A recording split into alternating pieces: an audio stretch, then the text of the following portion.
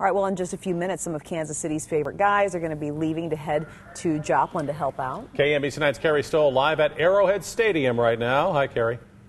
Well, good morning, and we just arrived at Arrowhead Stadium, and you can see behind me several members of the Chiefs organization. They're loading up on these four buses that are lined up there, heading south to Joplin this morning, and that does include the executives, the coaches, players, cheerleaders, even KC Wolf. Now, the group is scheduled for an early morning cleanup session, followed by a tour of the devastated area.